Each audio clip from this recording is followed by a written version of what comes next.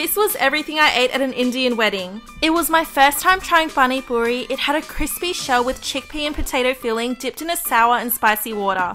You've got to eat it in one bite, and wow, it literally bursted with flavour. I loved it. Next, I tried Papdi chaat. It had crispy chips topped with chickpeas, yogurt, and a tamarind chutney. Such a great snack. Then I moved onto the buffet section for entrees and got a little bit of everything. I especially loved the chicken tikka and lamb seekh kebab. So yummy. Okay, we're only up to the mains now. I got rice with butter chicken, veggies, lamb rogan josh, some red onion for freshness, and naan too. The curries were so flavorful and definitely the highlight for me. For a sweet end to the night, I had jalebi, a super sweet, sticky, and slightly crispy snack.